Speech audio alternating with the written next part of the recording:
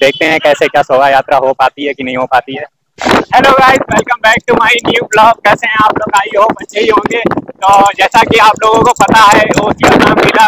में कल दशहरा हुआ था और रावण दहन किया गया था। उसके बाद से लगातार बारिश बहुत ज़्यादा हो रही है और अभी भी बारिश चली रही है। तो मेले का हाल देखते चल के क्या है मेले का पोजीशन आज होना था राज तिलक और शोभा यात्रा निकलनी थी मेले में।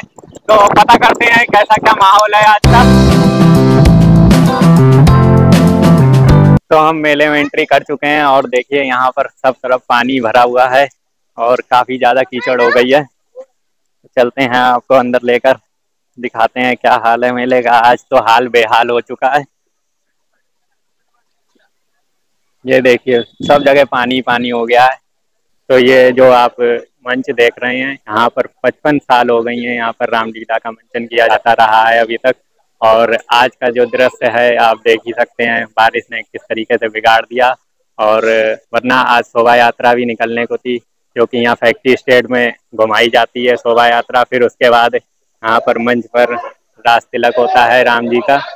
तो आज वो शायद शोभा यात्रा कैंसिल कर दी जाए। तो ये देखिए, यहाँ पर इतना पानी ज़्यादा भर गया है और आज तो लोग आने की आशंका भी बहुत कम है। तो इतना सब कुछ जो बना रहे हो, आज बिक पाएगा? है? बारिश तो बंद होने का नाम ही नहीं ले रही। वो अच्छा। तो भैया तैयारी करने में लगे हुए हैं, सोच रहे हैं बारिश बंद हो जाए।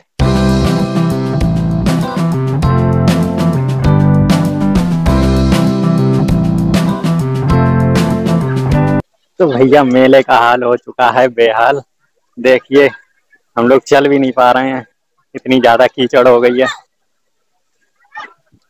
तो आज का जो राजगद्दी का प्रोग्राम है, वो भी पूरी तरीके से बिगड़ चुका है। शोभा यात्रा निकलनी थी, उसका भी कुछ अभी पता नहीं है, हो पाएगी कि नहीं हो पाएगी।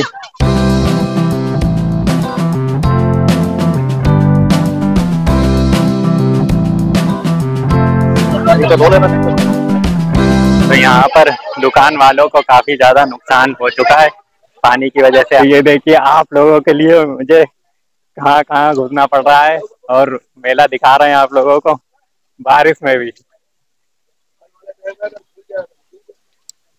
देखिए कितना ज़्यादा बारिश हो गई है।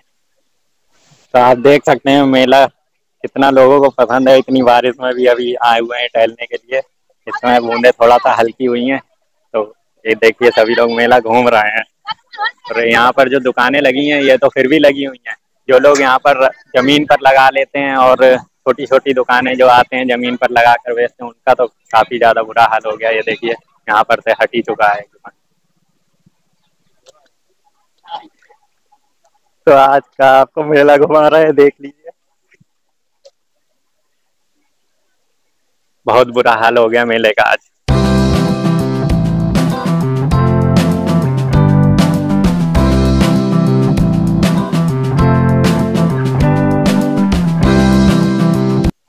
तो आज आपका नुकसान हो गया ज़्यादा है? आज तो कुछ कह नहीं सकते। अब जो किस्मत में है वो तो मिलना ही है इसमें कुछ दोहराए नहीं है। बारिश किसी के हाथ का थोड़ी है। तो नेचुरल है। कहाँ से आए आप? मुरादाबाद से। मुरादाबाद भाई का आज नुकसान हो गया है काफ़ी ज़्यादा आप लोग देख ही रहे हैं। कितना ज़्यादा पानी भरा हुआ टीचर टीचर में कौन आएगा यहाँ पर मेला घूमने के लिए? तो अब आप लोगों को लेके चलते हैं झूलों की साइड उधर देखते हैं चल के क्या हाल है झूलों की साइड में।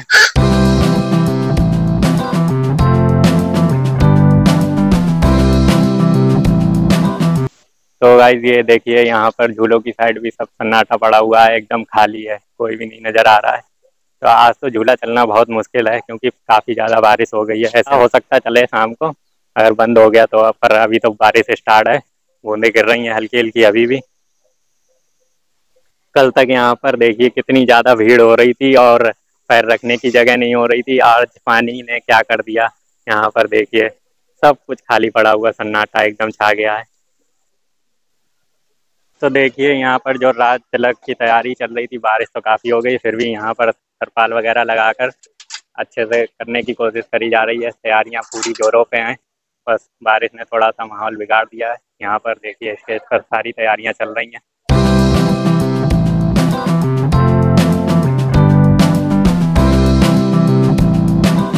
तो हमने आप लोगों को मेले का हाल दिखा दिया है।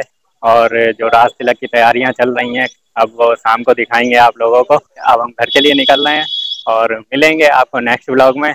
तब तक के लिए बने रहिएगा और चैनल पर नए हैं तो चैनल को सब्सक्राइब ज़रूर कर लीजिए और बेल आइकन प्रेस कर लीजिए ताकि नए ब्लॉग की नोटिफिकेशन आपको मिलती रहे। तो मिलते हैं नेक्स्ट ब्लॉग में और यहाँ पर देखिए बैंड वगैरह भी आ चुका है, शोभा यात्रा की तैयारियाँ पूरी तरीके से थी। अब देखते हैं कैसे क्या शोभा यात्रा हो पाती है कि नहीं हो पाती है। तो यहाँ पर बैंड आ चुका है शोभा यात्रा के लिए।